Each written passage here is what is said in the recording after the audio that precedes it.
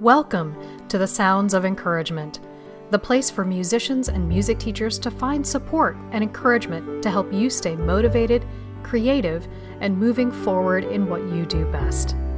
I'm Melissa Slocum, your host and number one encourager. I currently live in the Atlanta, Georgia area and have my own thriving studio teaching piano to all ages in person and online. I also help other teachers use student goal based learning and differentiated instruction to increase motivation in their students and increase retention rates in their studios. You can learn more at www.musiclessonpathways.com. Thank you for tuning in to Sounds of Encouragement. Don't forget to subscribe so you get notified of future episodes. Enjoy the following episode. Don't forget to keep listening at the end and be sure to check out all the links in the comments or show notes. As always, I'm here for you, so you can be there for those who need you the most. Reach out to me at soundofencouragement at gmail.com and let me know how I can better support and encourage you. Seth Thomas holds a Master of Music degree in piano performance. He believes that an efficient technique is key to enabling students of all ages and ability levels to achieve their full musical potential. His education and experience with the Taubman approach and Alexander technique allows him to help his students avoid fatigue and injury at the piano. Seth Thomas has been playing the piano since the age of seven Throughout high school, he studied with Thea Hoekman and Carolyn Steinberg. Mr. Thomas holds an Associate of Arts degree in music, summa cum laude, from Collin College, where he studied with Dr. Brian Allison. He also holds a Bachelor of Music degree in piano performance, magna cum laude, from the University of Texas at Tyler, where he studied with Vicki Conway. During his time at UT Tyler, he was the recipient of numerous music and academic scholarships. In May of 2016, he graduated with honors with a Master of Music degree in piano performance from Cleveland State University under the instruction of Dr. Angelin Chang and Ms. Joela Jones. Mr. Thomas has also studied with Sheila Paige and has played in master classes presented by Ms. Paige at Keyboard Wellness. He has also performed in master classes with Dr. Christopher Fisher, Ann Saslav, and Spencer Myer. Mr. Thomas is an active private piano instructor in the Dallas Fort Worth area. He has served as an adjunct instructor at the University of Texas at Tyler, where he has taught harmony and keyboard. He helps piano students of all ages recover from and avoid fatigue and injury at the piano through efficient movement. Please welcome my guest, Seth Thomas.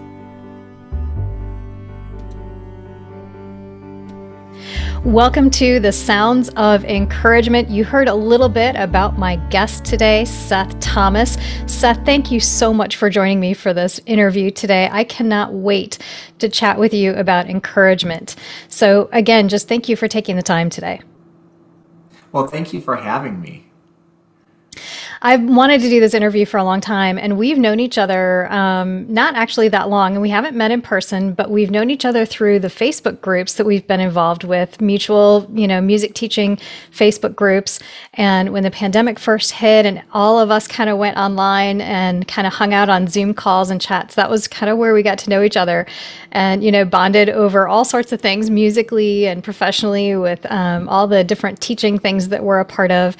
And you know, I've just grown to appreciate so much of what you do, and you've been so generous with your time with my studio. Uh, I have invited you in to be a like a Taubman specialist with some of my students and do master classes, and I just so appreciate all that you bring to the teaching world, and you know everything that you've done to encourage me and my students uh, in the last year or so. So that's kind of how we've gotten to know each other, and hopefully someday we'll meet in person.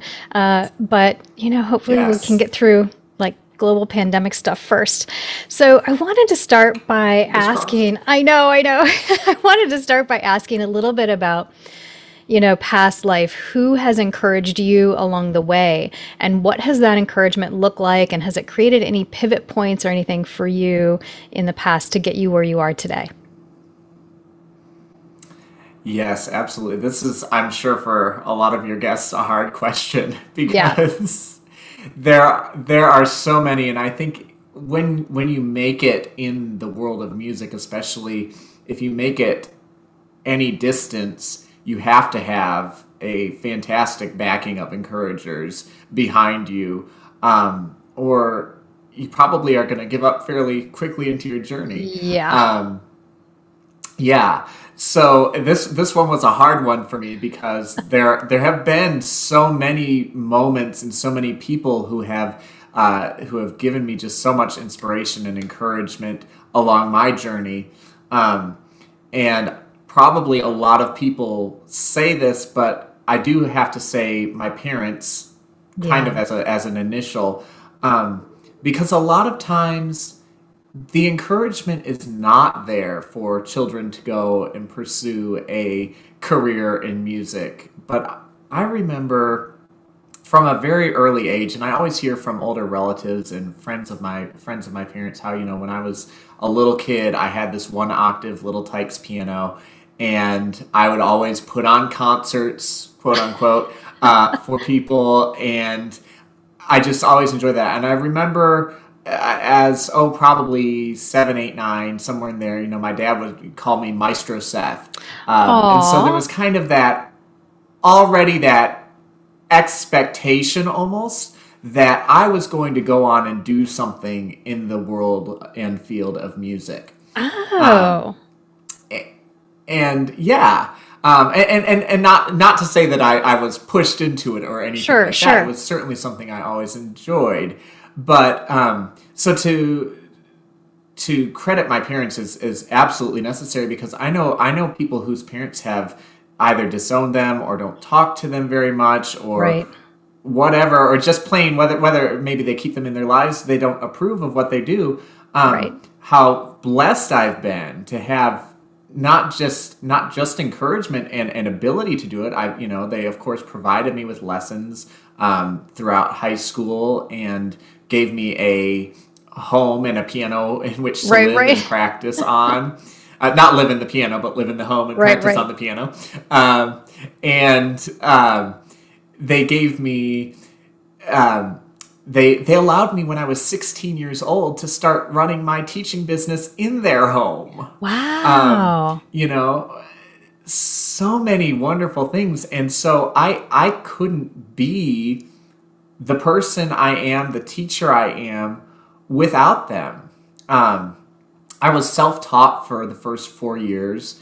Um, I I, uh, I come from a family of eight kids, and so anything outside of necessity was luxury. yeah. So piano lessons. A couple of my older sisters studied with um, some some ladies at, from different churches that we were a part of, um, and who either volunteered their time or, or gave you know very inexpensive lessons to my sisters. Okay. Um, but I was the first one who they actively sought out a professional, high level non Sure. non little old lady at the front of church Sure. playing piano piano teacher um, to really um, push me in that. And of course at the age of 11 i really didn't have the appreciation for it that i should have. I thought well i'm doing just fine on my own. You know what do i what do i need with someone else?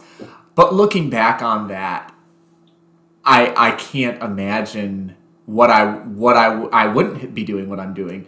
I can't imagine what i would be doing um, without that little push at the age of 11 years old where my mom said we're going to start piano lessons and that's that is what it is Yeah. um, yeah. And so so being being enabled to do you know all the things through that. And and, and i just am so grateful that that was some, that was that was an additional expense that my parents incurred. And um i was reminded of it often enough. Um, like we're paying but- for this, you better practice, but- right? but but I truly think that that was you know their way of just making sure that you know I, I stuck to the stuck to Sure. the path that, that I needed to, um, not just as a musician, but I really believe that they saw it as an investment, and Yeah. and I, I do appreciate them investing in me because that that takes a lot of a lot of faith to invest in an 11 year old you know no matter how much promise they're showing at that age you know um, that takes a lot of faith to invest in an 11 year old. So I would say yeah. probably probably my parents as a biggest source, and then if I may, just one more real quick. Yeah, yeah. Um, my high school piano teacher, Mrs. Steinberg, was mm. absolutely instrumental in me deciding that this is what I was going to do. Um, it was I was 14 or 15, and she said, you know, you have what it takes if you want to pursue a degree in music, but we've got to start getting you ready now to audition for music programs and start getting you ready for um, getting ready for what it's like to teach. Um, she said she basically said you you have a couple options. You can teach or you can be a church musician. You're not going to make it as a performer. Um, and honest, not not, not, yeah. yeah. exactly. You know, and, and I needed yeah. that because I wouldn't I wouldn't yeah. have. And so she started. I, I, said, "Well, I want to teach." And so then at that time, she had a studio of I, I believe she had about eighty students at the time, wow. and a waiting list of about 40 or 50. Oh, and wow. so as people would start calling her for lessons, she would say, "Well, I'm I can't take on anymore, but I have a young man in my studio who's interested in becoming a teacher and I'm going to be mentoring him and working with him. So if you would if you would be willing to entrust your child to him under my tutelage, um, you know so so she kind of gave me this this start in in the business of teaching as well so i owe a lot to her and she's she's been she i still talk to her not as often as i'd like to but i, I try to call her at least once a month and uh, wow. uh, catch up with her so she's been a huge source of encouragement to me for nearly 20 years now yeah that is so amazing there's so many little wonderful elements in that uh, relationship one is just her seeing your talent, seeing your potential, and knowing what the limits were, right? And saying, well, you're not going to make it yes. as a performer. You're going to be a touring, you know, concert pianist probably. But these are some things you can wow. do and kind of giving you not only the ideas of what you can do, but then mentoring you and allowing you to take on students. That's huge. Yes, yes. And I realize that more and more because I can't think of anybody right now in my studio, and I love my students. Yeah. But I don't have anybody who I'd be willing to put my reputation on the line and say, hey, take on some students under my name. That's a huge, that's an, another huge investment. Um, yeah. yeah. Yeah. Oh my goodness. What great encouragement and influences. And, you know, the other, the other thing that, um, I think has come through with a lot of people I've interviewed about encouragement is it's not just like encouraging you to do something, but then taking on that mentorship role that you described, where, you know, someone actually mm. comes alongside you and partners with you and says, no, I will help you do this. It's not just I'm telling you to do it, but I'm going to yes. help you do it. Yeah. Ah, yes, priceless. Absolutely. Priceless. Ah, yes. thank you for sharing those stories and those people uh, who encouraged you. Were you at, um, were you thinking about doing like did you have other thoughts about what you wanted to do with your life at, you know, 14, 15? Um, I think I was like maybe not like any other kid, but I I had um, nothing really seriously that I considered, but I, I considered being a driving instructor. Um, I considered um, I considered being a lifeguard at one point, not not permanently, obviously, not as a career, but right. um, you know, I, there there were there were several things that kind of cropped up, but music was always at the forefront. Um, now that being said, other interests I've I've always found my found my way to my other interests, my other passions. Sure. When I was at school um, in undergrad, we didn't have a theater department at UT Tyler, at, at least at that time. Um, and so the, every spring, the music department would put on a musical. And so oh. for the two springs that I was out there, yeah, I was able to do um, a production of Carousel and a production of um, Finian's Rainbow. And then I was also involved, there was a select group of us that Dr. Johnson um, she was the main voice person out there. Uh, she had us do this murder mystery dinner theater. Oh um, wow! And so yeah, so that was a ton of fun, and I've gotten to play in in the pit orchestra for various uh, musicals, and so so that's kind of an area of life that I enjoy, and so I've kind of been able to branch out into that. And I know that if ever I wanted to go out into community or civic theater again, I could probably at least get a chorus a chorus role. Sure, um, sure. You know, um, I, I, you've probably seen pictures of my cakes and stuff before. Yes, you know, that's that's always something that I've just kind of enjoyed, and so I've I've I've allowed myself to be open to experiencing other things, even if it's not what I'm going to end up doing. Yeah, and I think you know that um, there's so much creativity that you are able to share, not just musically and as a teacher, but with your cakes and decor- decorating cakes and doing cakes for you know major events and weddings and things. Mm-hmm. Um, yeah, and other musical avenues that you can take. Uh, you know, a lot of us are I don't know that I want to say, I don't know that I consider myself multi talented necessarily, but there are a lot of creatives who pursue a lot of different creative outlets. And I love that we're able to do that and um, not feel like we have to just stay in one particular lane. Right, right. And you are multi talented. Right? we tr- I try. I've, I've observed it. Sometimes yes. encouragement, you know, when other people are encouraging us, um, it's hard to discern whether it's encouragement for us or whether it's a layer of expectation of us. How have you gone about discerning encouragement versus expectation? That that has been a hard one. Um, yeah. You know, I often tell myself and I tell the people around me, you know, you've got to develop this thick layer of skin and all that. Um, but you know, also people need to learn to not be jerks. Um, Um, Can we quote that? When you know, yes, I'm I'm good with that. okay. You know, I think there has to be a, a, a level of balance. You know, I've yeah. I've always I always try to tell I always tell my students, you know, what I'm saying to you is said with the best intention. Now, I'm human and I may occasionally say, I might be having a bad day and I may occasionally say something that in a way that I don't mean to say it. And I will usually realize that and apologize for that. I'll say, now understand that me apologizing for it doesn't make it an okay thing for me to say. It means it re- I realize that what I said was a wrong thing to say. Sure. And I'm I'm apologizing and I'm also going to make an effort not to say something like that or in that manner again. Right. Um, and so what I always tell my students uh, when it comes to and, and, and people that I work with in, in other areas you know, when it comes to receiving somebody's words to you, like you say, you know, there's, there's kind of almost another level to it.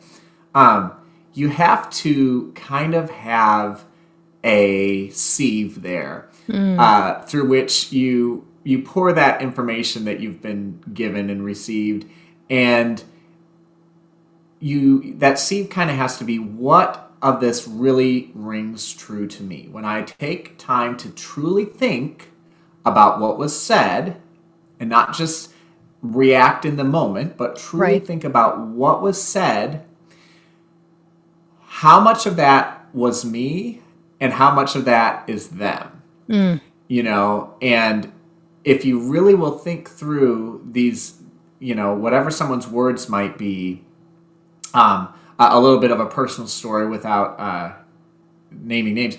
Uh, I, there was an a performance experience that I had once, and um, I never actually got to hear the performance. I was promised a recording of it, and I never got to hear it. But um, the day after the performance, the person who had kind of organized it pulled me aside and uh, ripped me a new one.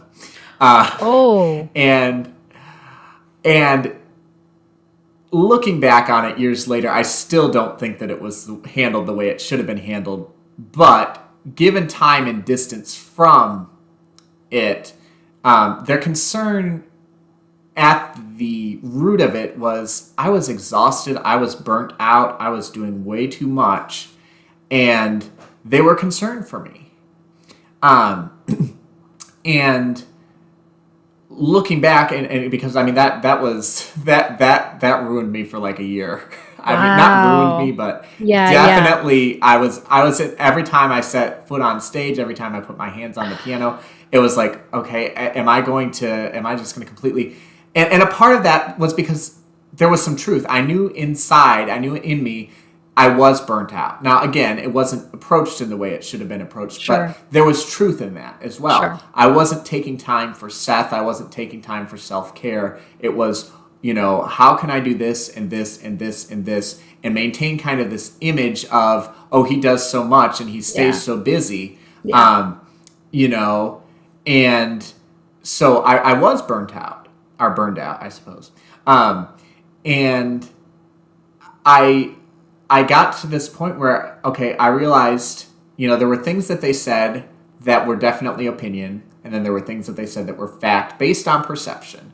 And even though again it wasn't said in a great and, and encouraging, uplifting way, it was said, I believe, out of a place of care, and it was something that pushed me on and, and made me made me a better person and made me realize, okay, I need to start saying no to some stuff. If if there's something I can't do, then I have to be able to say, no, I can't do that.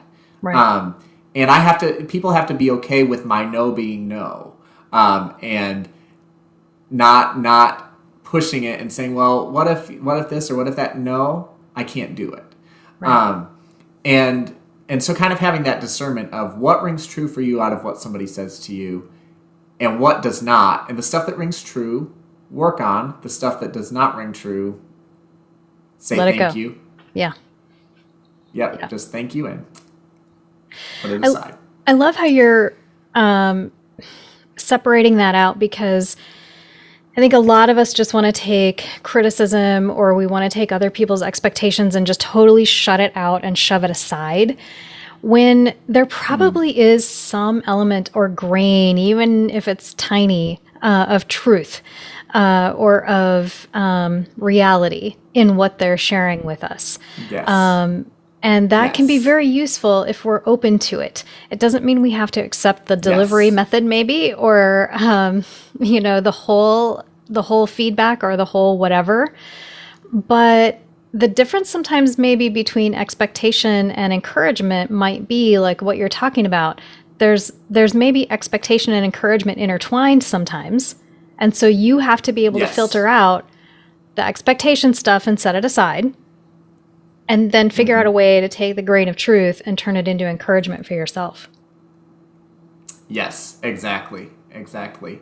Um, one other little, one little dot, you know, a point of I don't even want to say contention because it hasn't been a uh, uh, it hasn't been a tense point, but um, ever since I graduated from uh, with my master's degree, you know, every every couple. It, it used to be every couple months. Now it's maybe once a year. So my dad will ask me, "Well, when, when are you going on for your doctorate?"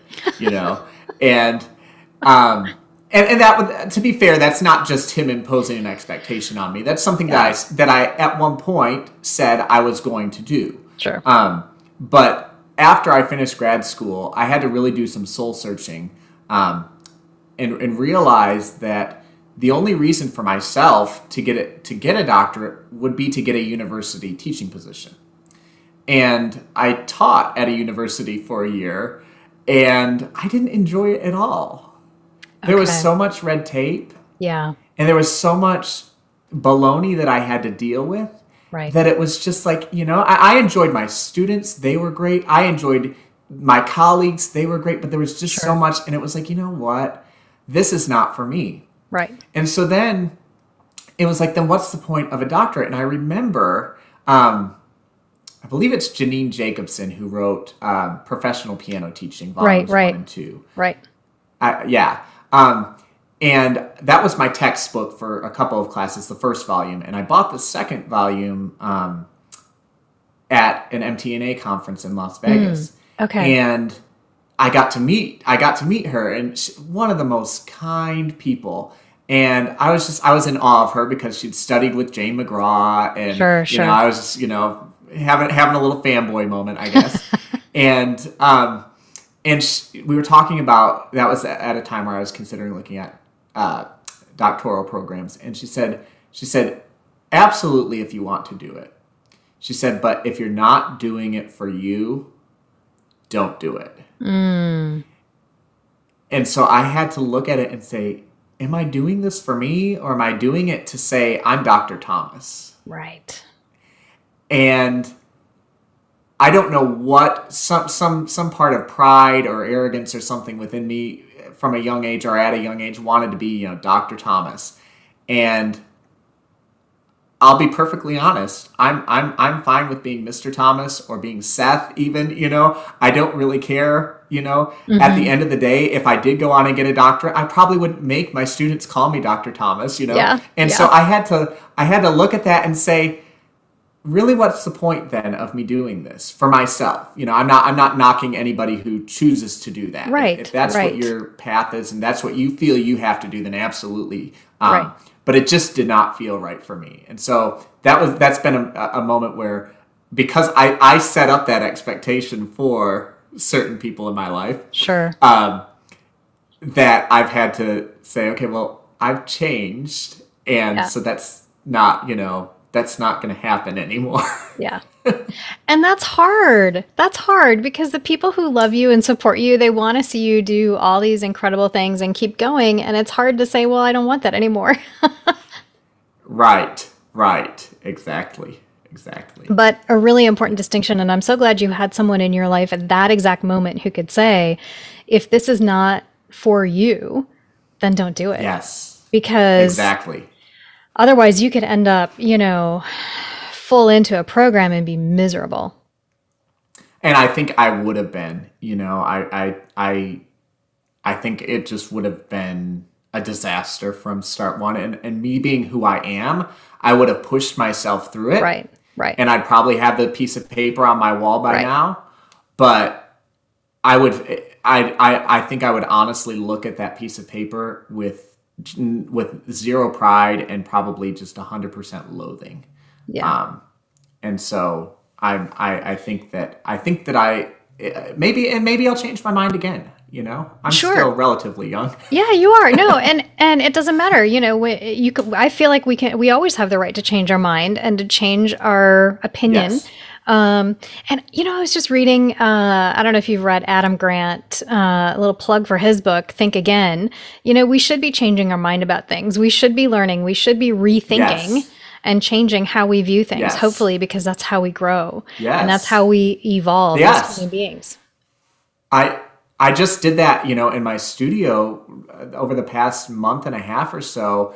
Um, I've been, you know, moving away from uh, you know, it used to be I made everybody count everything out loud. Mm-hmm. And you had to be able to do it, you know, X amount of times in a row and blah, blah, blah, blah. And some of the students who've been with me for, you know, three, four, even five years, when I said, we're not going to count out loud today.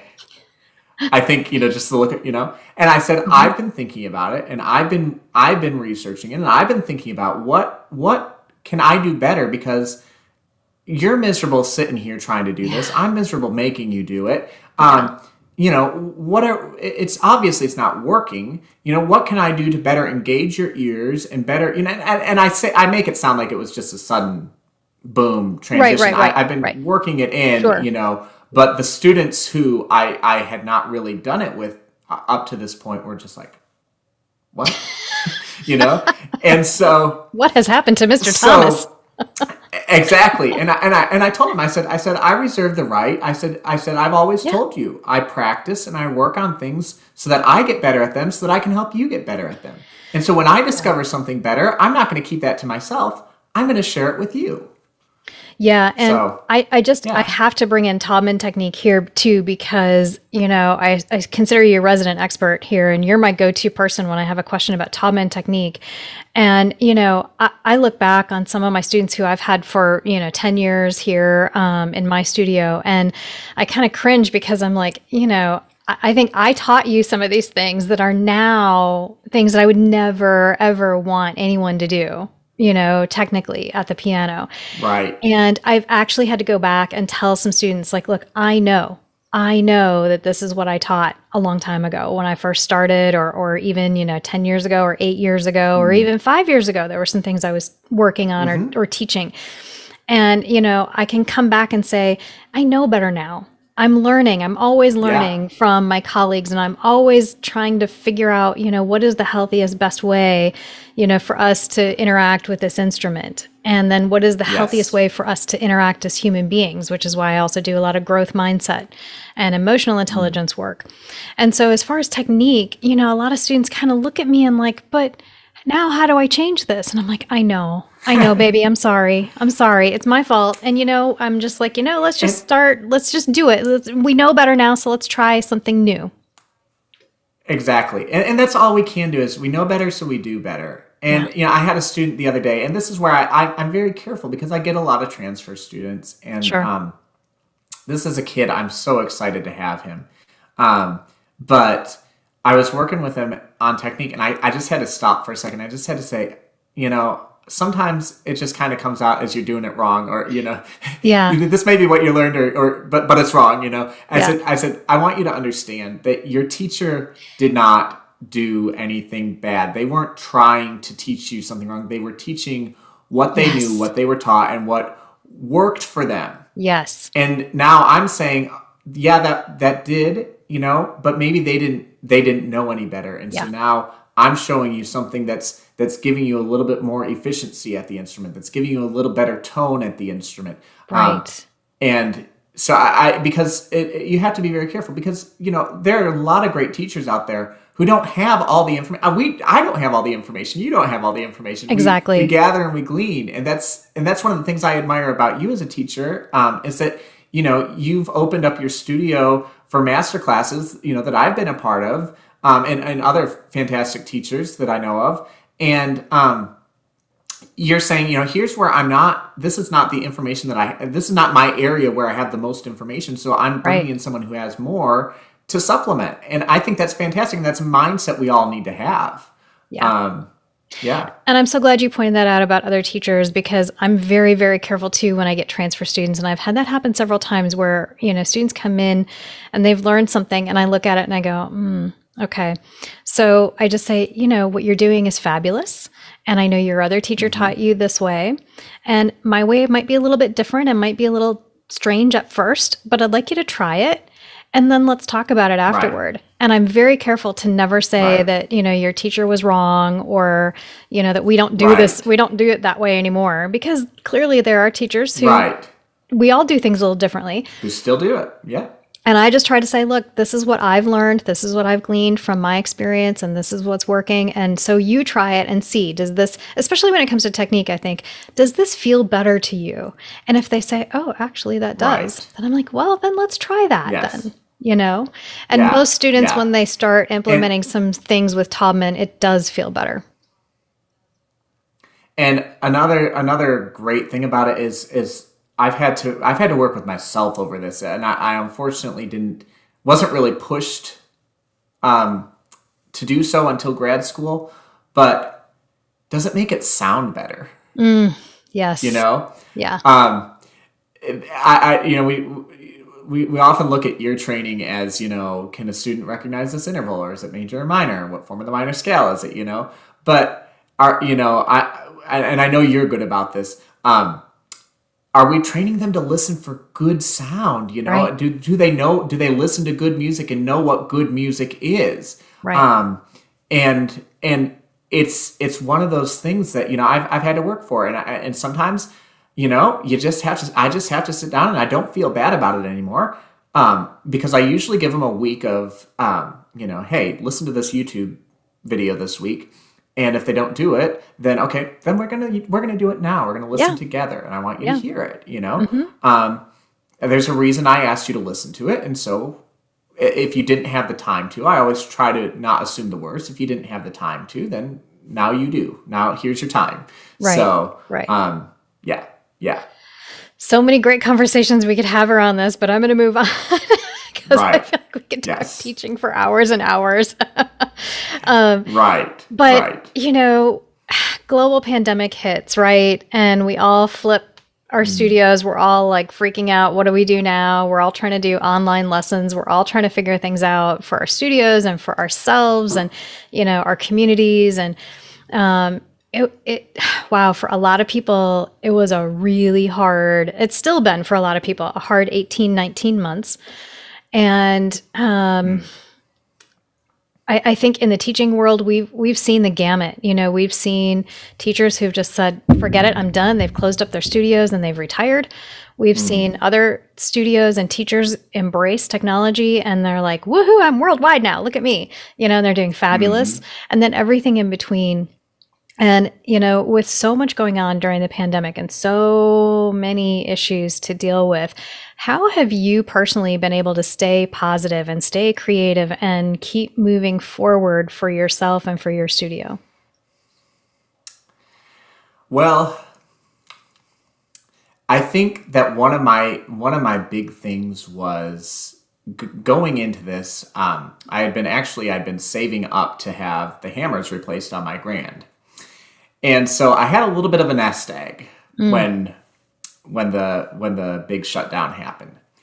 And so instead of getting hammers for my grand, which I didn't even have access to at the time because right. we were all cooped up in our houses and I was in an apartment, I bought computer, microphones, cameras, right. um, all kinds of cables, you know, um, because I had an idea of what I needed for an online setup, but I didn't need an online setup prior to that, and I didn't. Um, I didn't really have the, I guess, desire maybe. Sure. Um, I had something that was working for me, and so right.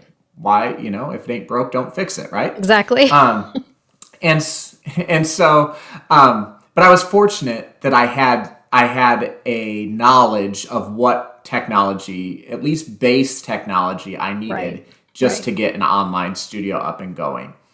And so I embraced it wholeheartedly.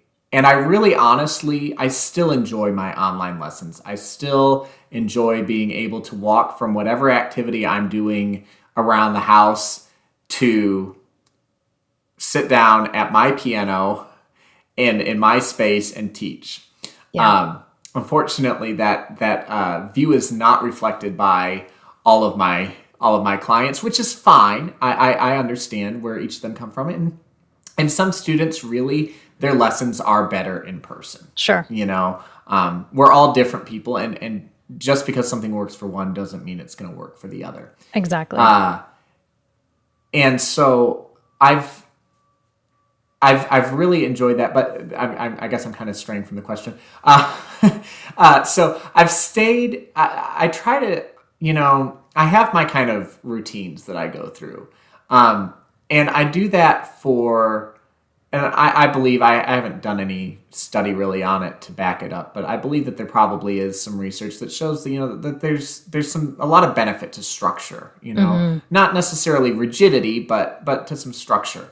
And so I have my things that I do um, every year, and every summer one of the things that I do is read through the um, C.S. Lewis's Chronicles of Narnia. Ah. Um, and even even as a mm-hmm, old man, um, I I still I still read through them every year, and um, you know, there's a lot of just fun stuff and just you know, great quotable moments. You know, um, yes. Um, one of my one of my favorites is from The Lion, the Witch, and the Wardrobe, where uh, they're just they just all four of them have just gotten into Narnia and.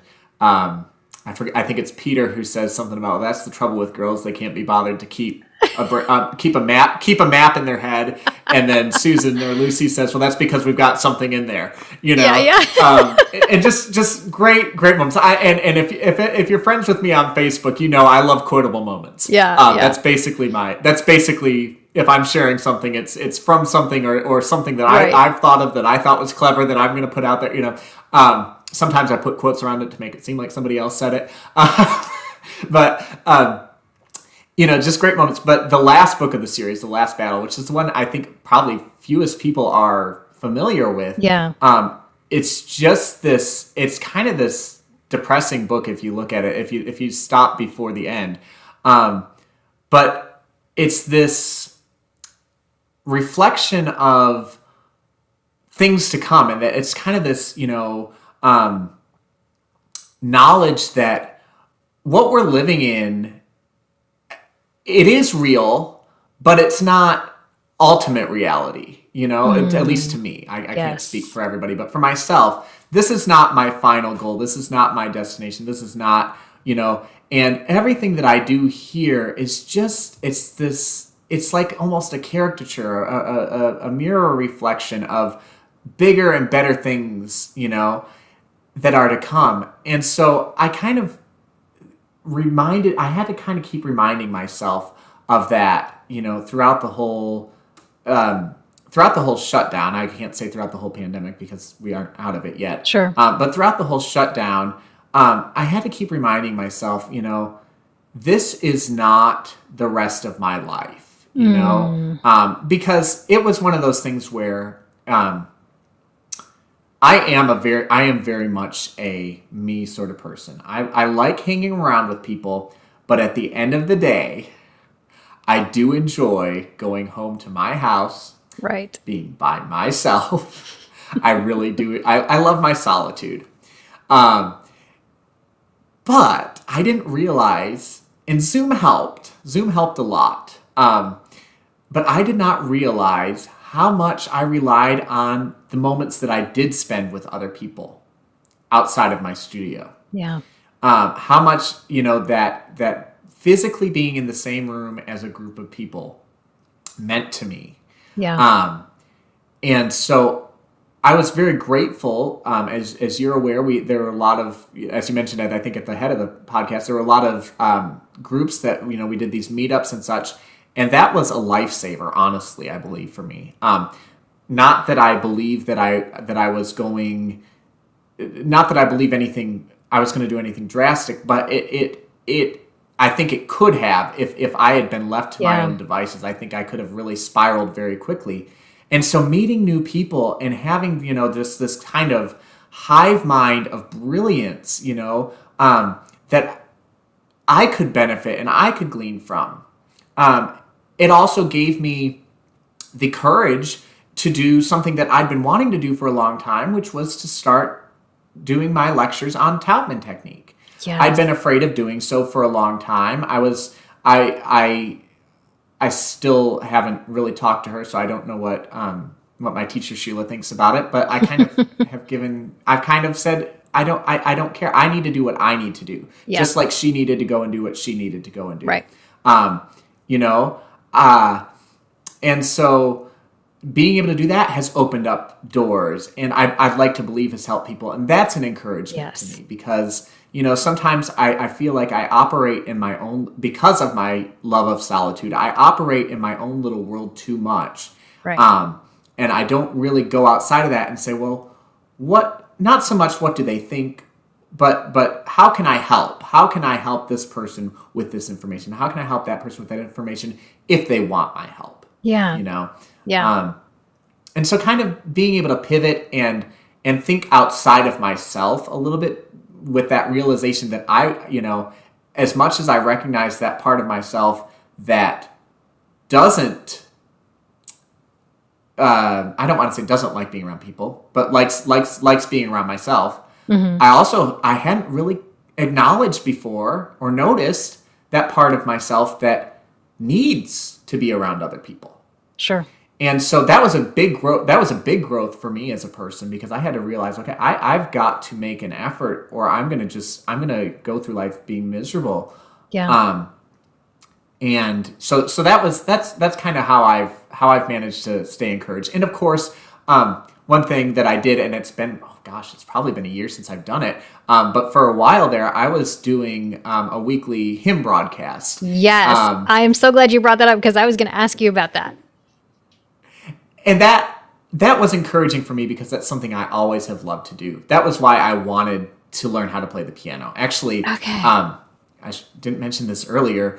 Um, I never actually really wanted to learn how to play the piano. I wanted to learn how to play the organ. Oh. But we didn't have, yeah, we didn't have access to an organ. Sure. Um, and so I learned how to play the piano. And then when I had the chance to learn how to play the organ, I didn't enjoy it. So, uh, so there you go. Um, um but um, yeah, so that was something that I, you know, um, I would, you know, there was always a distinction for me growing up, and I, I always tell my kids, you know, because they like to play, you know, whatever they like to whatever they like to play, and then they have mm-hmm. to practice whatever I had them practicing. Right. And I always tell them, you know, you've got to practice when you're practicing, but please spend time playing. Play music that you want to play. You know, it doesn't have to be stuff we've worked on or that we're Right. working on. If there's something you want to do, you know, as long as it doesn't take the place of practice time, that's what's most important. Because there was always that distinction for me. There was what this is what I have to practice for Mrs. Steinberg, Right. and this is what I play on my own time. And so every night, pretty much every night, whenever my mom would be cooking dinner, I would be sitting at the piano with a hymnal open and just playing through hymnals. And that's how I got, uh, that's how I became able to do um, what I'm able to do as far as improvisation and such. And, you know, I just, I, I practice it and I just did it. And, and it still is something that means a lot to me, even though currently I'm not playing for church. Um, it's, it's just been something that I've really enjoyed doing. It's something that I really enjoyed you doing too because we would sit either on a Friday night or a Saturday night or whenever you were doing the live stream um, and whenever you were able to do it, you know, we were um, sitting and usually eating dinner. Uh, and I would just have it on. And, you know, my husband and I recognize all of these hymns because that's how we were brought up too. Our kids, not as much because we've not stayed in the traditional uh, vein of worship as much with them. But you know, the improvisation and the incredible stuff that you were able to do with different hymns and the way you just made them your own and gave them your own unique voice. We loved that. We loved listening to you play. And it was just such an, a heartwarming, uplifting time, you know? And so, and I actually, I'm going to tell you, you. this because I think I may have shared this with you. Um, you would always take requests too. And uh, Yes. Yes. there was a good friend of mine who was a pastor in Chicago who passed away, not from COVID, but from cancer. Oh, and it was such a hard, hard time. And I requested a particular hymn that I knew was one of his favorites too. And I remember listening to you play, and the tears were just streaming. And it was so healing for me personally, for my husband and I, to hear you play and to remember our good friend and it was it was a turning point i think in helping to heal that loss for us personally. And such a wonderful warm positive thing that you put out there in the world. And i don't know that you know when you do that i don't know you know who you're touching and who you are you know encouraging and who you're helping. But you certainly encouraged and helped Right. us. And i know you did that Well, for so you. many so many people who listened week after week. And yeah, if you ever get back to doing that, I hope that, you know, you'll do that again at some point. And if you haven't heard Seth play some hymns, holy cow. We we've got to get you connected. You could do an album, Seth. Well, I, I, I'll have to do that. I, I did kind of a, a mini personalized album for the, when I um, moved out here and stopped playing. It was it was very quickly my, my move out process, um, and so I moved on from the church pretty quickly that I that I had been playing at.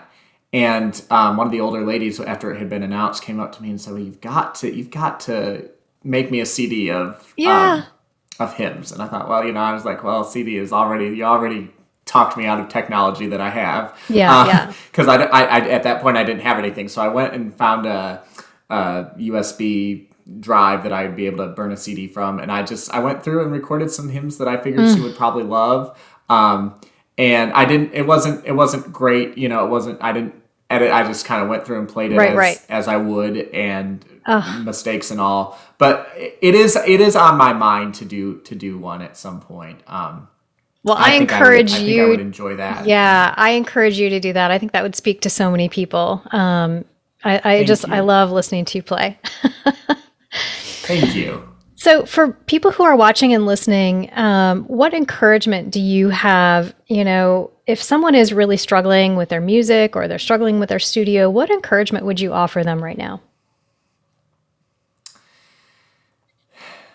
You know, um, I think what I said a moment ago, you know, it's hard when you're in it, but this is not the rest of your life. You know, this is not the the be all end all. And and it can be very difficult um, when you're in when you're in a, a struggle situation that you're sometimes you know there are times when we're struggling and we look at something and we're like is this is, is this maybe the, the sign that this is not the thing for me you know Right.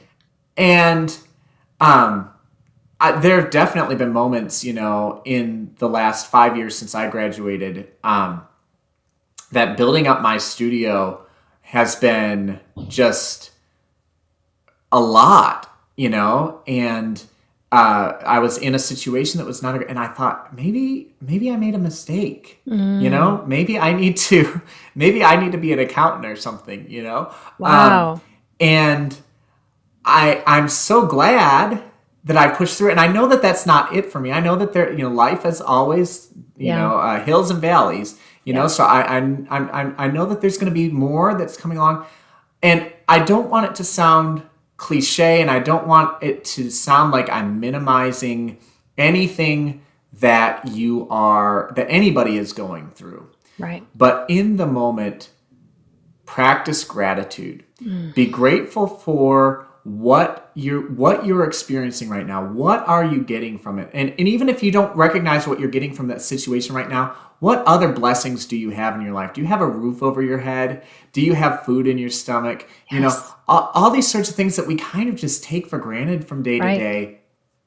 Um, and are, are these things that that that that you have that you can be grateful and, and and can you see even the smidgen a smidgen just the tiniest bit of positivity in your situation that you're going through can you see that it's benefiting you at all and if it is, then keep going through it. It's it's it's a moment, it's a growth moment, you know. We're always growing and we're always changing, but you know, for those who remember, you know, from their young years, growing pains. I had I had horrible yes. growing pains. You know, that, yes. that's that's how I got to be six feet two tall. You know, and I'm not even really in, in the grand scheme of things. I'm not that tall. I'm the shortest of my of the of my three other brothers. Oh wow! Um, you know, and and um you know and and i remember you know there were nights where i couldn't sleep. It hurt so bad yeah. you know? Well that's that's that's what this this is this is growing you. This is and and it's it's rarely com you know rarely comfortable. Um you know how do, how does gold get get refined or silver exactly. get refined? It gets put through fire, fire. and all the all the excess burns off. And so on that note and i promise i know this is going on but when you go through that fire and stuff starts to melt off, that's the stuff that needs to melt off. That's the stuff that needs to go away. Yes. You know, if you're if you feel like, oh man, I'm clinging on to onto this, but it's it's not bringing me any joy. It's not bringing me any happiness, and uh, whatever it may be. You know, maybe it's that you know you're you're stuck in a in a friend group that you know the the people are just not bringing any any positivity to your life and and yet you find yourself constantly trying to make time to spend time with these people. Sure. Well are you getting anything out of it? And if you're not if they aren't bringing some benefit to you then maybe it's time to just kind of yeah. let them slide past you know? Um, and so those those sorts of moments are, are are so important because they grow us and they make us into they bring us to our next level. Um, and then once we get up that next hill we can look back at that valley and say oh, okay yeah. I see. That's I what see that was that for. Was yeah. Yeah. I love yeah. that you share at the core of that gratitude. I had to restart. Um, you know, it used to be that, um, boy, back in the 90s, gratitude journals were a big thing because Oprah had pushed it and things. Mm. And I had done some of that. And then just this last fall, when I got back um, to teaching this fall, I restarted that gratitude practice. I, I just, I think we just assume, oh, yeah, I'm grateful. But then just the act of writing you know, and keeping those gratitude mm-hmm. journals and seeing it uh, again was so yes. powerful for me and so wonderful for me that I yeah. needed to get back into that gratitude practice. And it was more mm-hmm. than just like, mm-hmm. okay, thank you, God, for this, thank you, that in prayers. It was, I was writing physically every day, and I still am. You know, who yes. are the people's names? What are the, you know, experiences I'm grateful for? What are the tangible things? What are the non tangible things? And seeing those yes. lists was just so much of what I needed to kind of reset myself for this year because I think we're all exhausted. Yes. We're exhausted of pandemic yes. life. And I needed that, yes. you know. And I, I remember commenting to a friend last week because I, I, I know that we've all been through so much, just whether you're a teacher or musician or both or whatever you know, sometimes you get to a new low and you hit that new low and you're like, yeah. I don't even know what I have to be grateful yeah. for today. And a friend of mine asked me, "Oh, you know, right. how you doing today?" And I said, "Well, I have a pulse, and I'm breathing. So we're going to start there. I'm grateful for those two things. Yep. like I made it out of Yeah. bed. Woohoo! You know, ex- exactly, exactly. And I think that that's you know that's something, and and I, I you know again I don't ever want that's that to feel like I'm oversimplifying someone's problems or you know Right. um, that I'm I'm saying well you, you can't you know you, you have you know keep it positive or you know it's it's also okay to embrace the negative and say you know what right now life just sucks you Exactly. know and exactly, and you just and and and, and I I think there's power in acknowledging that too and, and just putting it out you know what this I, I don't like this situation right Yeah. now I'm not happy right now Yeah. um and you know but even in that you know I, I I'm I'm not happy with this and I'm also grateful for something else. You can Yeah. balance the two. It doesn't have to be either right. or. Right. And i think having that community of people around that you can share with honestly is critical as well. Like you were talking about earlier Yes. having some external you know friend circles or just even one other person that you can reach out to. Yes. Absolutely absolutely so important wow such great wisdom such great encouragement we have to get to the music that uh, you've chosen Yeah. to share as your top five songs of encouragement I listened to these and holy cow, we are going to run the gamut here and have a great time with this music. I can only play 10 or 15 seconds of each clip, but we're going to do that and then you'll get to talk about each clip at the end. So I'm really quick. Hopefully, this will work. Uh, I'm going to share screen. This first selection, wow, Mahalia Jackson, No Night There. This is incredible. And talk about take us to church and preach. Wow, we are all here for it. So here we go. Here's just a little bit. She'll never part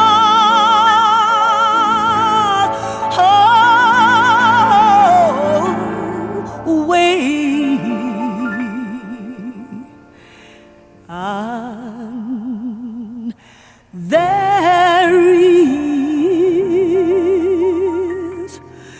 No night.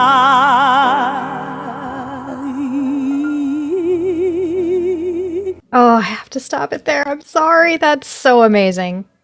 It's all good. Hey, I would just encourage people if, if you if you want to hear more, go go look it up. Uh, yeah, it's in the, the links are in the show notes. Yeah, go listen to this whole yeah, thing. yeah. What did you want to share Um, about that piece? So that is a um, that's a hymn that I actually learned um, from another uh, someone who I emulate a lot of my hymn playing ability from. Uh, and he always just he had a bunch of piano solo albums that he released um, in, mostly in the 70s and 80s i think Yeah, that was Harpo um, Marx, by the way, on piano. Oh, yay. Um, and I remember after my mom passed away, that song kept coming to my mind, you know. Um, ba- it's based on a verse in Revelation. Um, and, you know, God shall wipe away all tears from their eyes, and there will be no more death, or pain, neither sorrow nor crying, for the former things are passed away. Yeah. And, um, you know, I, I was actually looking for to see if somebody you know had uploaded a video, uh, you know, had uploaded Rudy Atwood playing it, but that came up, and I listened to that, and I was like, okay, new favorite recording of this, um, and it just it just the expressive, just how you can tell she's really she knows what what the pain of losing somebody and and just the hope of looking forward to a place where you know there's not going to be tears or sorrow or crying all those things that we just actually just finished talking about Yes. that is that's that's gonna that's gonna be the final melt away that's what's gonna Yeah. finally go away in the end and that to me just speaks volumes of encouragement um, it also has special meaning to me because during my two and a half years in Cleveland, um, when I was in grad school, I actually played at a Black Baptist church. Oh, Um, you did. Yes. And that was such a different experience from anything that I had ever done. Sure. Um, and I learned so much from them about music, and they learned a lot from me about music Yeah. Yeah. and and so understanding rather than just playing through that hymn as I would play through it to really take the time like she does and each word has meaning. Yes. You know? And and learning about doing it like that and and and putting maybe not doing it exactly that way because hey, that's somebody else's style, not mine, but learning how how can I bring an element of that into what I do? Um, Yeah. just one of my I love love love listening to gospel. I do too, and it was just a stunning recording for me to listen to this morning and go listen to the whole th- whole thing. Uh, I, you know, I'm not ashamed to admit that. Wow, I felt like I was at church, and I felt like I went to the altar and cried my eyes out. Um, you know, and it, you know when you do that, when you just kind of go and unburden yourself and you just let it all out, how great you feel afterward. Right. It's like, ah, Right. okay, now I feel so much better. and and and it's ironic because that song always makes me tear up, and it's Yeah. you know it's about not crying. It's about you know I'm, I'm eventually not crying anymore, but it's it's it just the thought of it, the, just the thought of it makes me cry. You Yeah. know, Yeah. um, you know, so But I think that's what great Yeah. music and great musicians do for us is they're able to pull us out of our head and and bring us to an emotional experience and and get us to process. yes, Yeah. Oh, yes, absolutely. wow. So we're going to move from one great to another here. Um, so this next selection is Jessye Norman and her uh, version of "You'll Never Walk Alone," and oh, again, go listen to the whole thing. This is just a tiny little clip. There is a choir and an orchestra backing her. This is kind of at the height of it here. We'll just listen to a little bit.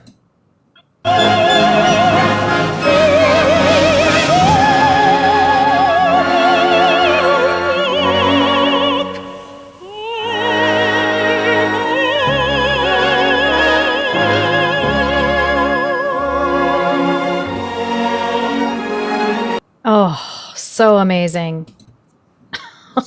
Such a powerful voice. Like I just, you know, it's amazing to me.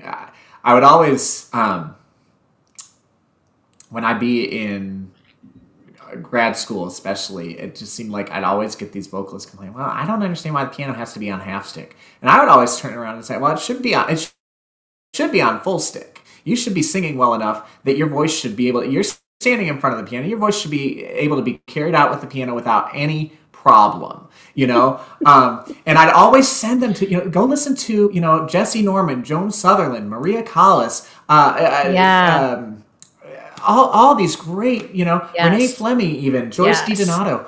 Um, and go listen to these these people and and uh, you know some of the more current ones yeah there will be a mic there and that and wonderful you know uh, i think concert halls are bigger and so they, they Yeah. require a bit uh, uh, uh, we, we require a little help and that's okay um, and um, but just i mean such power and again so much emotion in it you know um, I've always loved that song. Like I mentioned earlier, I was in Carousel back in undergrad, um, and um, that that was where I kind of fell in love with that song. And I mean, there's so many good versions of it. There's there, Yeah. Renee Fleming had a version that she sang at a concert for America after 9/11. Um, it, uh, Judy Garland has a great version. I'm just it's and, and again it's the words and it's it, I'll put it this way: if you can't connect to those words, you know, you'll never walk alone. Then I mean, where's your heart? I mean, Yeah. you know, I mean, Yeah. it's it's it's so it's it's it's it's so simple of a message that it's just being offered to you. You're not you know you're not alone. You know, you're you you, you gotta you keep keep on going because you've got a whole you've got people who have gone on Right. that are standing there back behind you right. and you've got people that are walking alongside you as well that are still with you you know yeah. um and so you're never you're never alone and of course god is always Right. with you you know Right. um, if you believe that um you know and so that's that's such an important thing to me you know Yeah. I, I, yeah And I think, you know, like you said, when you get into the lyric and then you listen to a recording like that with such a powerful voice and the orchestra and the choir, you can't help but be inspired. And boy, if you're not encouraged by that, yeah, I'm not sure, you know, come back again another day and try again because that for me today, I, I went from church and being at the altar and crying to like soaring, you know, and just like, oh, Yeah. I can do anything today, right? I, and, and I love a voice that does that to you. That just, that's exactly the word for it. It just makes you fly with it. You're just, Yes. I'm floating on that voice. Yeah. I love that. I Yeah. love that. Yeah. Yes. Wow. So we're going to do this next one. This is Judy Garland. And I forgot, I haven't listened to Judy Garland for such a long time. I forgot what an incredible voice. And you're going to hear um, the overdub here of, you know, she's recorded herself against herself, or that's how they did it in this particular track. It's- Happy Days Are Here Again. It's, Go ahead. oh, I was just going to say, it's actually Barbra Streisand that's singing with her. Oh, it is. How did I miss I think- that? I, I don't know if maybe somebody uploaded it wrong, but um, it's from it's from the from a recording that they did on the Judy Garland show. So it's it's it's Judy Garland and a young Barbra Streisand. Oh, my word. And I- Okay. So I, now. I, I didn't. Okay, I'm gonna go back and listen to this whole thing. So we all have to listen to the whole thing. But here's just a little, a little tiny clip, um, most of the way, like three quarters of the way through. Here we go. You better change the skies above our clear shine. Hallelujah. So let's sing a song. And just get happy. Happy times. Happy times. Happy nights. Happy nights. Oh, sorry to cut it off there, but wow, you're right. No, that's Barbra yeah. Streisand. Holy cow! I didn't even realize that. Yeah. Yeah, there was an episode because Judy Garland. I don't know. I don't know how long it ran, but she had a had a Yep. TV show, a talk Yep. show, um, and um, in that episode, the, Barbra Streisand was on as a guest, and then Ethel Merman pops in as well. And there's I forget what song all three of them sing, or they sing some sort of medley or something. Um, and yeah, and that's just that's one of my favorite. Um, sh- she has kind of a more upbeat version that she sings, I think, in Summer Stock. Forget your troubles, come on, get Okay. happy. You know, but just I just like that long, drawn out. You know, um, Judy Garland is one of those people who I could listen to for hours. And of course, anybody who knows her story knows she had a horrible life. Yeah. Um, and unfortunately, I think I unfortunately I think that's why her her voice is so emotional and why you know why she can pull so much in because I think something like that I, I have to believe how else could she have kept going I really have to believe that she really thought you know things were going to get better you Yeah. know Yeah. um and you know um she just I, I, listening to her voice, and I, I don't mean to. I don't mean to comment on that without commenting on Barbra Streisand's voice, but I really I posted it for Judy. Yeah, yeah. And and she's one of those people that I listen to, and I always tell my students, I want you to listen to her, but I don't want you to emulate her. You know, because there's a little there's little things, you know, and but but at the same time, I remind my students it's those little imperfections. It's that little thing that you're not supposed to do uh, that makes it music. You know, I'd rather listen to something where there's a couple pitchy notes and there's a little crack or a little croak or a little something. You know, there's there's a recording of a concert that she did at Carnegie Hall. Um, I think it's you. Yeah, she sings "You Go to My Head," and it's like the second or third verse. She forgets the words, and she's like, "I forgot the gosh darn words," you know. um, and and you know, she just kind of goes into, and, and it's hilarious, you know. And it, it's like it's it's a moment. It's forever, and it's, and it's immortalized, you know. Right, right. Recording technology, you know. Um, and and it's not it's not to look at and laugh at as a mistake. It's to look at and laugh at. That's one of those moments that happens, and it's it to me that's more music than if she remembered the words and just kind of been like, eh, whatever, you know. Yeah, Um, yeah, because got it's authentic, right? It's authentic. Yeah, exactly, exactly. So Yeah. I, I just I love it. Yeah, you know, I'm Yeah. I'm so glad you brought that as an example too, and that you talk about your students and listening to uh, examples like that because, you know, we can all produce. Well, I feel like we can all produce students who can play technically correct, you know, and play black dots on a page. But I'm always asking my students to be musical and to put themselves out there, you know, emotionally and and to connect with a piece and bring that connection to their audience. And I'm always asking them, what do you want your audience to hear? What story are you telling? Right. What are you bringing Right. to this personally? Because if it's not there, you're just black dots on a page, and that's not that's Right. not going to go anywhere. Right. Uh, and so, what a great example of you know helping students understand that you know mistakes or imperfections can really actually contribute to a musical performance. I don't know that we do enough of that. Yes. I don't think we do. Yeah. I certainly don't. Yeah, I don't I know I don't. All right, so this next piece, holy cow, again, go listen to the whole thing. This is the Chopin Ballade, number 4 in F minor opus 52 with Ann Schein.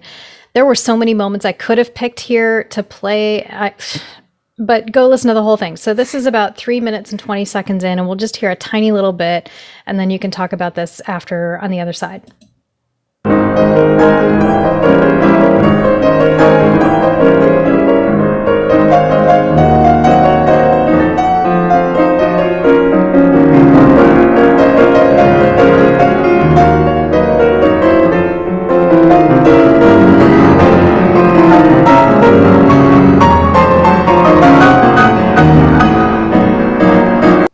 Oh, wow.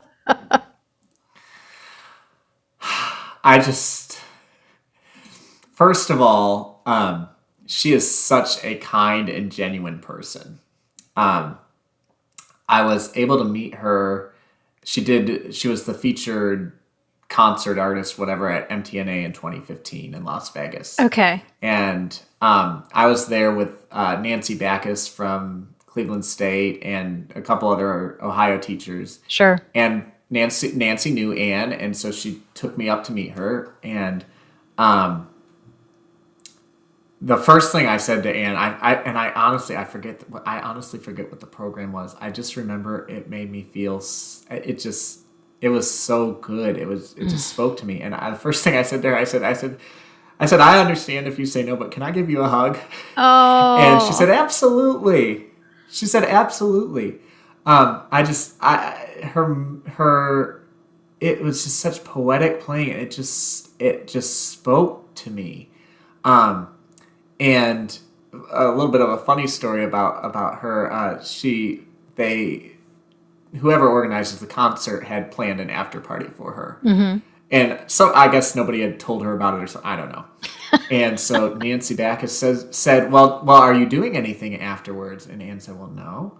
And Nancy said, "Well, that's odd that they didn't, you know, plan anything for you." And she said, "Ah, and Nancy said, "Well, would you like to come and have dinner with us?" And Ann said, "Well, absolutely." So we're all geared up, and somebody from MTNA comes. Well, Ann, we've got a we've got a party for you up in the presidential suite. And Ann said, "Well, I'm not going if my friends can't come." She said, "I'm not going if my friends can't come." So, so I got to go to the presidential suite. Wow. Some I forget which Las Vegas hotel. Right, right. And you know, hobnob with all the all the upper crust of of MTNA. Right, right. Oh, Um, that's fabulous. But it was she. she it's one another instance. Of course, I've never had the um, opportunity to meet. You know, I, I never had the opportunity to meet. I should say Jessye Norman uh, or Mahalia Jackson um, or Judy Garland or Barbra Streisand. Right, right. Um, but um, Ann is one of those people, and I have to believe that that these other people were whatever else may have been going on in life were also very genuine people. Um, and because they don't know how to be any other way, yeah. it comes through in their music. And and it was just such pure. It, she just plays so purely, and oh, she's mm, just. And, and of course, Chopin. How can you? You can't go wrong with Chopin. Well, Yeah. you can't go wrong with his compositions. Um, Right, right. You know, and and just yeah, yeah. I, I just yeah.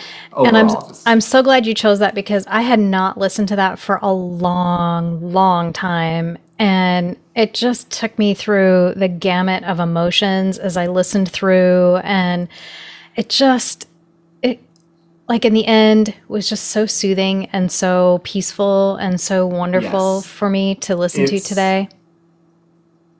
it's my go-to autumn piece. It's it's what I like to listen to. You know, when I start to see we don't get me, we don't get much color change here in Texas. You're probably the Right, same right. there in Georgia. Right, We don't right. get the, the quite the vibrant colors of the of the Midwest. But what what color changes we do get, um, and I guess they get pretty pretty colors on the East Coast as well. Yeah. Um, but what colors changes we do get, I just you know I just like to look at it or look at look at pictures of places where it's actually pretty, and um, it just it's just so peaceful. You know I, that that I don't know what about, and I I can't say that that's universal, but for me that piece just says autumn. Wow. Ah, so, so perfect. Well, we're going to switch from autumn now to Christmas. I love that you're sharing this because, you know, we're headed into, uh, by the time this airs, we're headed into Thanksgiving. And right after that is Christmas. And so I love that you have shared David Archuleta's Christmas Every Day. We're just going to hear a little bit of the beginning, but go listen to the whole thing. This is such a happy song.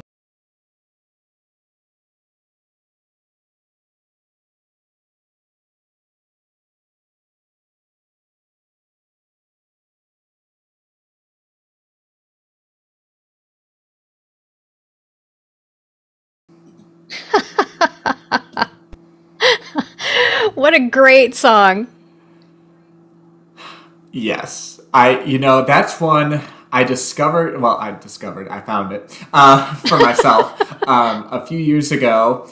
I was I was decorating for Christmas. As you can tell, I don't I don't like Christmas at all. Right. No, Uh, not at all. Can't tell. Can't tell. This is this is this this is my 2020 Christmas in my apartment. Yeah, um, yeah. behind me, um, and uh, I was decorating for Christmas, and I was looking, you know, listening to Christmas music, and that just cropped up, and I thought, oh, this is really good. When did it come out? And it had just literally released, maybe the day, maybe two days before. Oh, wow. And I thought, oh, this is really good. I I'd never been. I, I I'm not an anti David Archuleta fan. I just had never listened to anything of his before.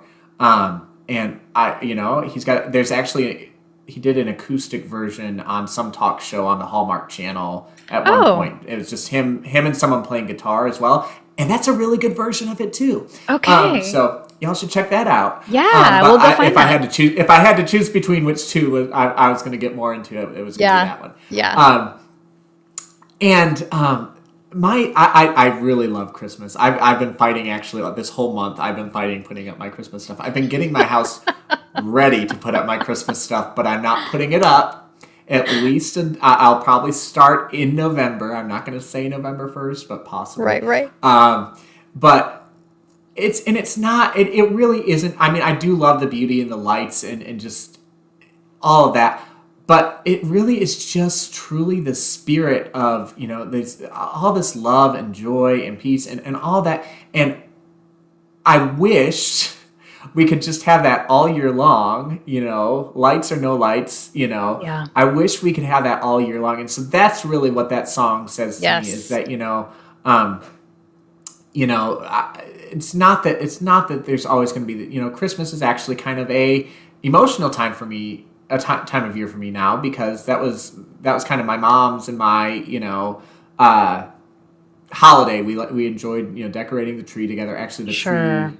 Let's see. Uh, I'm trying to figure out this. The tree that's more this way. Uh, Okay. It's my parents. Is my parents' old tree, um, Oh, artificial okay. tree, and it's it's going on. I don't know how many Christmases it's been in business, but it's got at least one more in it. Um, and you know, so that's got all the ornaments that I've gotten from gotten from them over the years, and all that Sure. stuff. And you know, um, so there's always just kind of that, that moment of remembrance. And so it's it kind of goes back to what I said earlier. It's not always smiles and rainbows, you know, but you know, having having that balance with the the spirit of love and joy and peace and giving and forgiveness and and just all that wonderful stuff. That's that's kind of why I threw a Christmas Christmas song in there for the mix. And that and I love Christmas and Christmas music and that's why. So, yeah.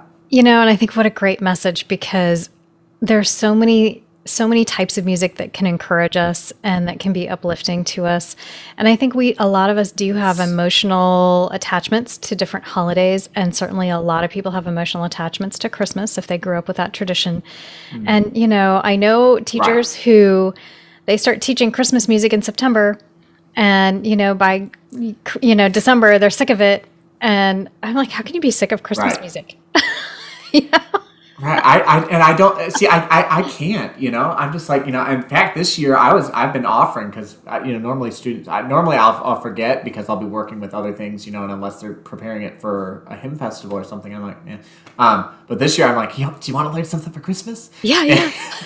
I've had I've actually had se- several of the kids have been like, well, can we do Halloween first? And yeah, yeah. I was yeah. Like, I'm like I'm like I'm like sure if you want to, absolutely. You know, let's just Yeah. let's let's let's play some music that's not Mary had a little lamb or you know, whatever. you know. Yeah. let's, let's let's just have let's have some fun, you know. Um, Yeah. And for whatever reason, I've just been needing it this year, and so um, yeah, it's but it's just it's so good, and and, and, and it's not for everybody, and I I understand that too, but right me, right yeah. right Yeah, and and yeah. i don't introduce um well i don't do like christmas exactly in my studio because i have so many different Hmm. uh, cultures and and backgrounds represented in and so i don't do like those who want to do christmas music and, and were brought up with that tradition that's fabulous but those who are you know of other ethnicities and backgrounds and cultures um, they certainly don't have to do christmas music because that would not necessarily be their thing um, but yeah you Right. know I if people want to do Halloween music, we've been doing Halloween music in my studio all month long, and uh, you know I get requests for Thanksgiving stuff, you know hymns and things for Thanksgiving, uh, Mm-hmm. and Christmas and different holidays, and you know it's whatever makes your heart happy, right?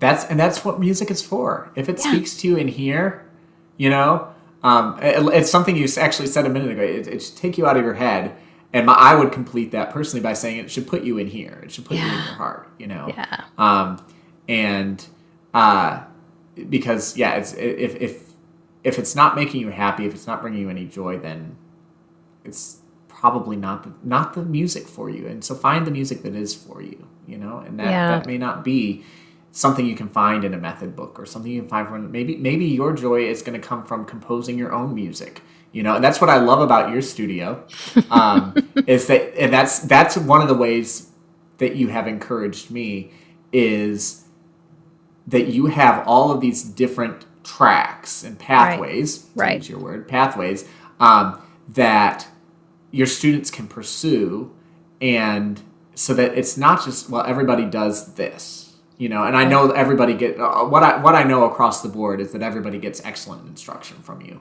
Um, you. and whatever you deem necessary to make that happen you do. But i love that everybody gets all the, all of these options and you've really inspired my me to offer offer that and not be so one track minded in in my own studio. And that's really opened up my enjoyment of my teaching a lot more and it's opened up my students enjoyment of music a lot more so thank you Wow, thank you for saying that. That means the world to me because you know, I feel like it's a hard sell. You know, a lot of a lot of people get stuck in very traditional everything and this is how you run a music studio and this is how you teach students and the last several well, and I don't know, you know, if if the pandemic taught you really nothing, um, I hope it taught you that music was what got us through and that we have to find some solace, we have to find comfort, we have to find joy in our music.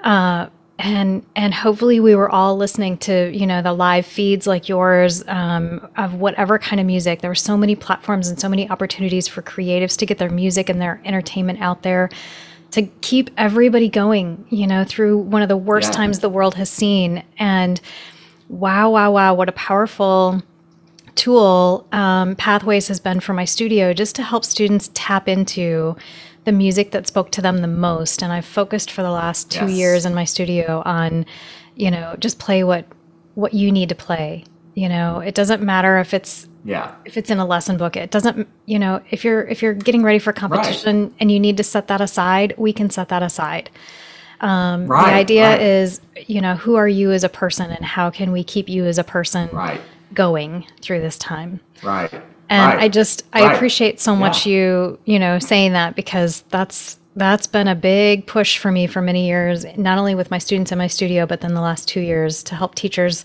kind of understand that you know we can still teach everything we need to teach but allow students agency in how they learn it Right, right, exactly, exactly. Mm. We're giving them tools to build what they want to build, not what we want them to build. Yeah, and back to that earlier discussion. exactly, exactly. Wow, Seth, what an amazing conversation. Um, what a blessing yes. you've been. What an encouragement you've been to so many people through this conversation and the music that you've chosen. Is there anything else that you would like to share just as a closing thought today? Um, you know, it's one of those things where, and it's kind of is reflective of what I've already said, but just another another push at it. You know, life is not always this, and thank goodness for that. Wouldn't that be boring? yeah. yeah. Um, you know, um, but I think the biggest piece of advice I'd give you, and it's not anything new. It's I'm sure you've heard it before, but maybe hearing it one more time or hearing it from me, hearing it here today. Always make sure to make time for yourself. Hmm. You you have so many people and so many things making demands on your time. And no wonder we're always stressing ourselves out and burning ourselves out and thinking, I've got to do this and I've got to make time to do something that you enjoy doing by yourself or or if or if your or if your thing is spending quality time with a loved one or with a friend right. or, or whatnot whatever what but something that is for you that you don't have to worry about what you have to do tomorrow or what's what's coming up with with this that or the other thing you know? In, in the words of one of my favorite um, favorite uh, tv shows treat yourself all right? Uh, parks and right right. uh, you know give yourself you know maybe not to the extent that they did but um, but give yourself permission to you know even if it is something simple like you know getting your nails done or getting a massage or or whatever or just for me it's spending a couple hours reading a book you know yes um, just something that's for you that it, that's not necessarily aimed at growing you or growing your business or all those right, things right. are wonderful things and things we have to do but do right. something that you that it's just something you can just say, you know what, I had a good time doing that today. Yeah, exactly. Yeah. So, go watch Netflix so or read a book or yeah. yeah. go for a walk. Yeah. yeah. Yeah. Yeah. So that's what I that's what I would leave you with. Oh, what great, wonderful reminders. Um, so, yeah, everybody out there, if you're watching and listening to this, just go take care of yourself. Uh, once you're done listening to this podcast, go do something for you that is only for you and no one else.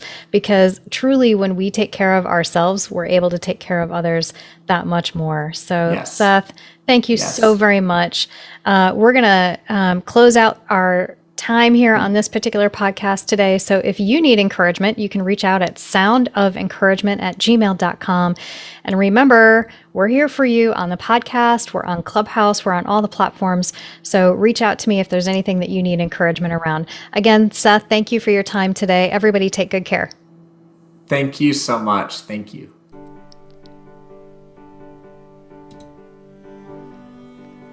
Thank you for listening please click on the show notes to learn more about my guest and to listen to their top songs of encouragement. If you have found value in these podcasts, please share the podcast with those you know, leave a positive review, or support the show at buymeacoffee.com. Sounds of Encouragement is a podcast production of Music Grow LLC, part of growing musicians and teachers everywhere. Sounds of Encouragement is hosted, produced, and edited by Melissa Slocum. To get in touch, contact soundofencouragement at gmail.com. You can also find Sounds of Encouragement on Clubhouse. Drop in weekly for a dose of personal encouragement. Theme music by Melissa Slocum and Steve Tressler. Music mixed and mastered by Steve Tressler. Thank you to Steve Tressler and Christina Lopriori who encouraged me to do this in the first place. And remember, I'm here for you, so you can be there for those who need you the most.